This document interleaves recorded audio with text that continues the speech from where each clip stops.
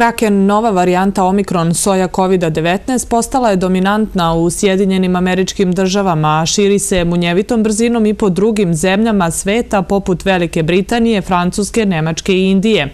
Iako još nije bilo vremena da se potpuno istraži kakve posljedice ima po zdravlje, jasno je da je ovo najprenosiviji soj korone koji se do sada pojavio.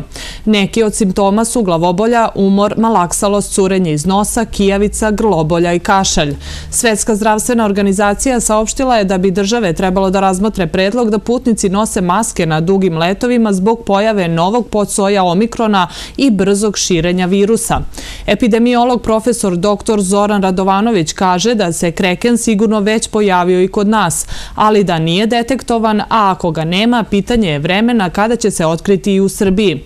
U nekim zemljama se za nekoliko dana duplirao broj obolelih. Kako navodi dr. Radovanović, ne očekuje se bitna razlika između ovog soja i drugih podsojeva omikrona. Ovaj novi soj je potentan, ali klinička slika nije teža nego kod ostalih. Kod većine ljudi virus izazove nazeb. Ne pravi veliku štetu, ali se treba čuvati. COVID je sistemska bolest i zato svaki put kada se osoba zarazi dolazi do oštećenja krvnih sudova. Zato je bolje što manje puta biti zaražen. One osobe koje su već bolovale od korone očekuje se da će sada, ako se zaraze, imati blažu kliničku sliku. Ali ne treba zaboraviti da i blago zaražavanje može kod čoveka da izazove sindrom dugog COVID-a. Neki ljudi mesecima nemaju snage da prošetaju zbog posljedica COVID-a, imaju lošu koncentraciju, a ljudi iz okruženja misle da je lenština i da izbjegava da radi, smatra doktora Dovanović.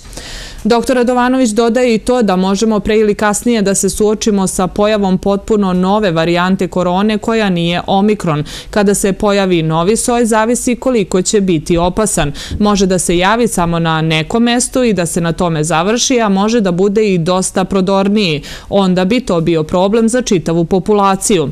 Što se tiče podvarijanti omikrona pa i krakena, trebalo bi znati da oni koji nisu preležali virus u posljednjih šest meseci i nisu vakcinisani moraju da se čuvaju.